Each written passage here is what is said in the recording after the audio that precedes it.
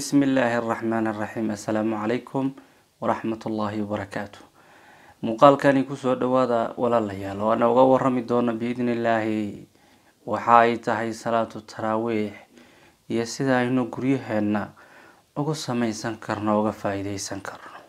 Marka ugu horeysa salaada taraawiixda maanta in guryaha lagu tukado looga hadlo arrintaasi sidaasi noocaasa waxaa keenay waxa weeye ibtilada insaanka haysata ee gabagabaysay ilaahina waqti dhow ha naga dulqaado. Salaadii taraawiixda ee jamacada lagu tukan jiray ee meel kasta aadaanka iyo qur'aan akhriska uu ka bixi jiray hadda ma jirto.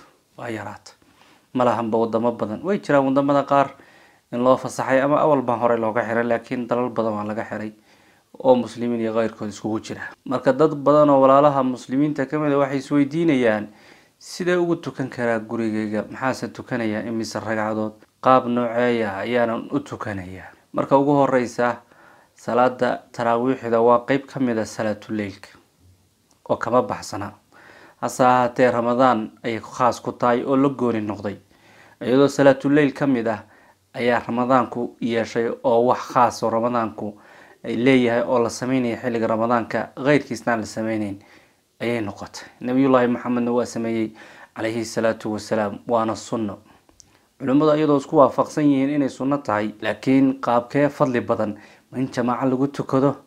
Ma masaajid iyo wixii suurtagala mase qof walba goonidiis inuu tukado? Hase ahaatee inta badan ahlu cilmigu waxay qabaan sida muslimiintana ay u badan yihiin ayna tahay xilligii cumar sida muslimiintuba ku arooreen in jamaaco lagu tukado.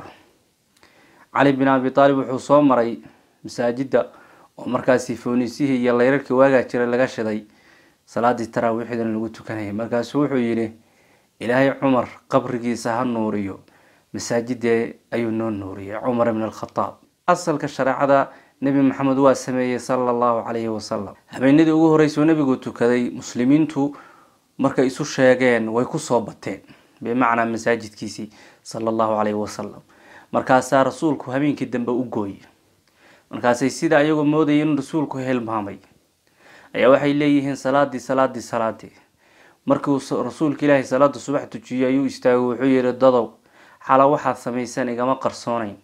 Laakiin waxaan gurigayga u jooga aan u imaan. Waxaan ka cabsaday in laydinku waajib yeelo kadibna aada awoodi kari weydaan.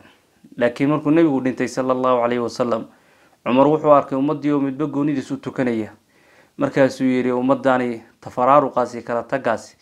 Intay ku sii badnaan lahaa hal imaam buu ku kulmiyey waana isaga ammaanay wax cusub oo wanaagsan oo taasi ka wanaagsan inaysa jirin sida cumar ibn khataab uu ku tilmaamay.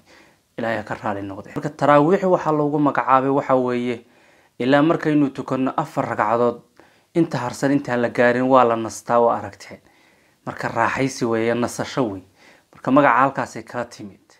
Imise ragcad la tukanaya in badan oo ka mid ah muslimiintu bimacnaa samayskoodii iyo culimadooda fiqiga ahaa waxay u badnaayeen labaatan ragcadood.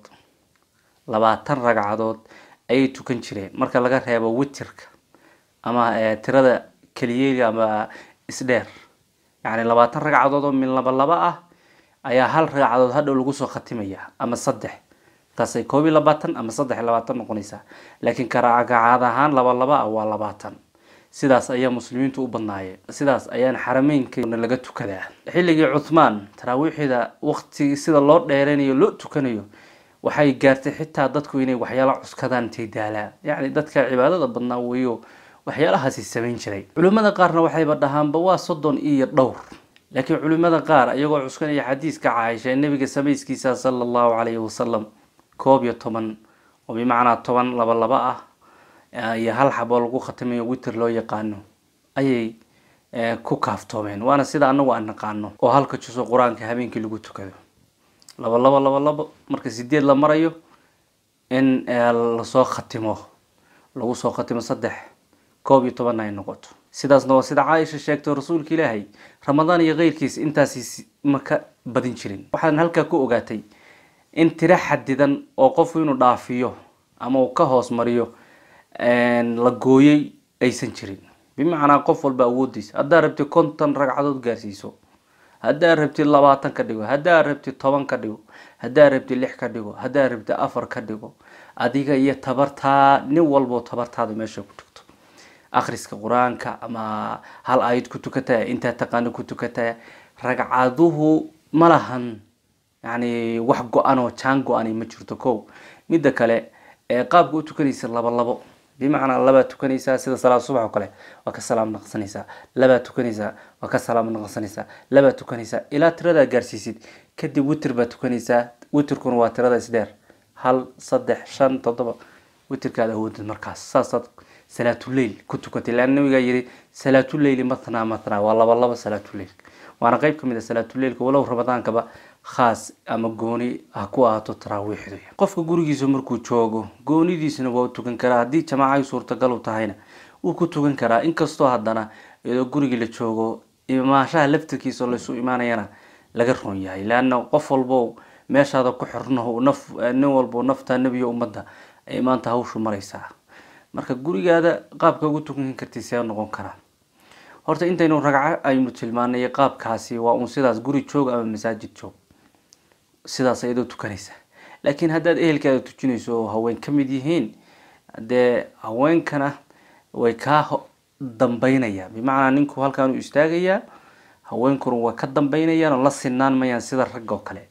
Ciyaalkuna waa ka sii dambeynayaan sidaasi saddex saf ku noqonaya hadduu qofku qur'aanku xifdisan yahay iyo hadduusan xifdisanayn way u bannaan tahay inuu musxafkii kitaabku intuu soo qaato kor ka akriyo caaisha waxay lahayd nin addoona oo salaada tujin jiray musxafkuuna ka akrin jiray.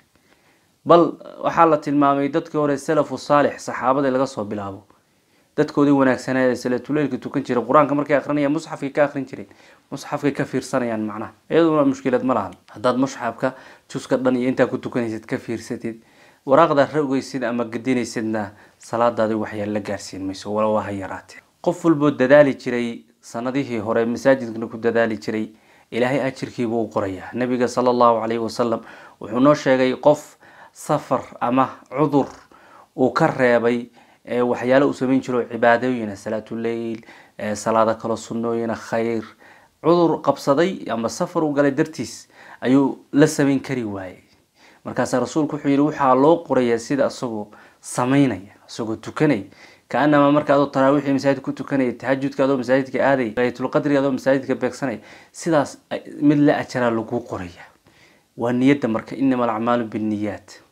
Waxaa muhiima marka salaatuleyl iyo taraawiix iyo qur'aan akhris asaas u ah oo saldhig u ah in niyadaadu saafi tahay oo qalbigaadu yahay mid saafi ah oo ka maran cuqdad iyo niyad xumo iyo maaragtay cadaawad iyo xasadnimo iyo xiqdi kale iyo makri.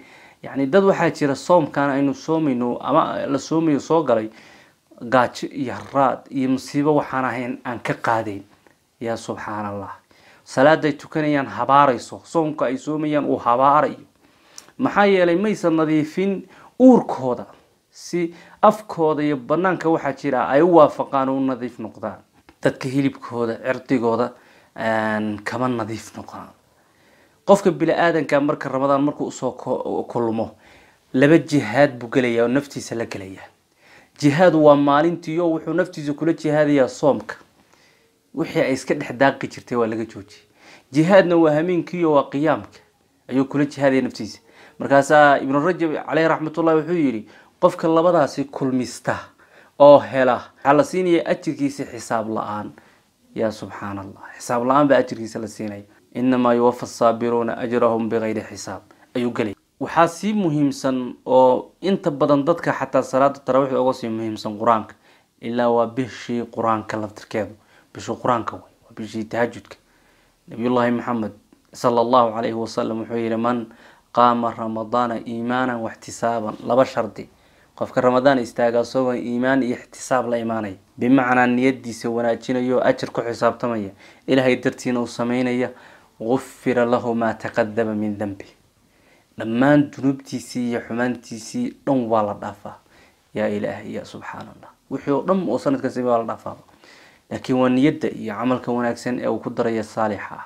Qur'aanka akhriskiisa ku dadaal. Rubamaa laga yaabaa salaada taraawiixda is weydiinaysid inuu kaaga muhiimsan yahay qur'aan akhriska. Waayo waa macaansanaysaa. Qiyaamkana waxaad la imaan kartid la imow. Laa yukalifu allahu nafsan ilaa wuscahaa intaad awoodid la imow.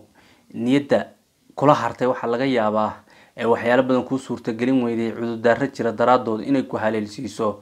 Dad wanaaga kaaga horeeyey oo sameeyey boqolaal iyo boqolaal wanaagyo ah. Adinkaas arkaya maantay in masaajidii aan dhawaaqi ramadaanka loo furin oo ay xiran yihiin ramadaan iyo keyrkiis salaad aadan masaajid ku tukan ama jamaaco ku tukan ayadaaba iska dhadhankeedu si kale iska yahay. Laakiin aynu iska sabirno ilaahayna faraj weydiisano biidni illaahi si ilaahay towfiiqda inoo waafajiyo faraj iyo khayrna uu bishaan nooga dhigo. Ilaahay amni iyo iimaanna nagu siiyo iyo horusocod iyo dadku in ay aakhiradooda iyo adduunyadooda u shaqaystaan wixii wax ka taraya. Alla wuxuu leeyahay wajcaluu buyuutakum qibla wa aqiimu salaa guryihiina qiblo ka dhigta. Xilligii muuse ayaa laga hadlayo fircawn ay ka cabsanayeen mu'miniintu. Guryihiina ku tukadaa layidhi xanuunkan laga cabsanayana isna waa cadow iyo fircawn kale.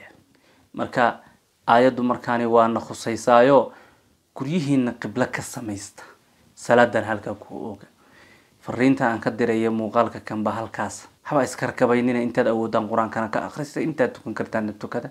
Ducaduna iyaduna waa shay muhiima oo rubamaa laga yaabaaba salaadu taraawiix kaaga muhiimsan tahay oo kaaga dheef badan tahay. Qof walba iyo maaragtay wuxuu awoodo iyo wuxuu xiiseynayo cibaadaha ha badiyo insha allahu. Inta kale uu gaari waayey waqtigii uu ka gaarsiin waayey ama cududaar kale uu ka gaarsiin waayena waxaa loo qorayaa ama laga dhigayaa sida isagoo la yimidba biidn illahi ilaahay sidaas u deeq badan yahay u karaamo badan yahay oo u yahay mid siismadiisu mar walba ay soconayso aanan ka cabsanayn wax dhammaad. Aada iyo aad baad mahadsantihiin ilaahay hanaga wada yeelo kuwa ka khaniimaysta bisha tan ee bilowga ah. Ilaa aan ka dhammaysanaynana. Ilaahaynuunu ka baryaynaa nabadgelyo inuu nagu dhammaystiro iyo in ilaahay adduunka faraj deg dega uu ku siiyo dibna ay ugu laabtaan wanaagoodii iyo khayrkii insha allahu tacaala. Baaraka allahu fiikum. Wassalaamu calaykum waraxmat ullaahi wabarakaatu